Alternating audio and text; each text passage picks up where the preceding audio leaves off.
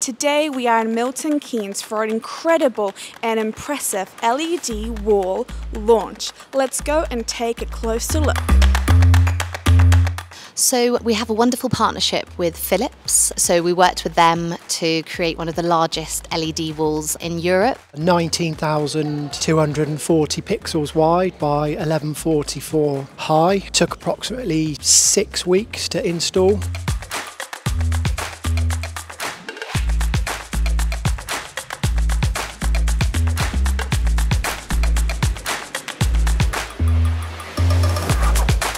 I've not personally seen anything like this in any other venues. So I think that this will give them that edge. Um, but also, you know, when you walk into the venue, it really there's that wow factor that you can, you know, that you'll get from coming to a venue like this as well. Yeah, so I think people come here because we're unique. You know, we tell the story of a Formula One team, and this gives us the opportunity to delve even deeper and to show people a showcase of all the different content that we have. Our brand team are so excited to get their hands on the wall um, and to really take it to the next level for delegates. I think it offers us the opportunity to give people kind of a 360 view um, of all of the different content that they've got going on at the technology campus. I think we're really lucky that we already have the opportunity of being the home of one of the best Formula One teams in, in its entire history.